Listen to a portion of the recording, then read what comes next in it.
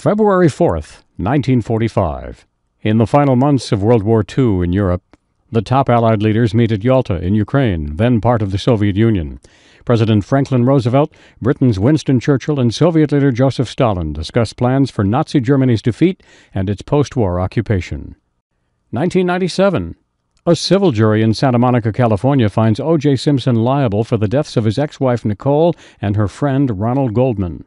Goldman's father, Fred. Our family is grateful for a verdict of responsibility, which is all we ever wanted. And we have it. Thank God. 1974. Newspaper heiress Patty Hearst is kidnapped in Berkeley, California, by a group calling itself the Symbionese Liberation Army. Hearst, who is captured the following year, says her kidnappers had brainwashed her into committing robbery and extortion. 2004. The Massachusetts High Court says same sex couples are entitled to nothing less than marriage and that civil unions are not sufficient. 1976. In Central America, a severe earthquake strikes Guatemala and Honduras, killing more than 22,000 people. And 1902.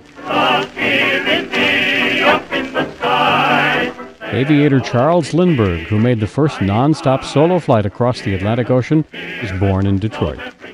Today in History, February 4th. Brian Thomas, The Associated Press.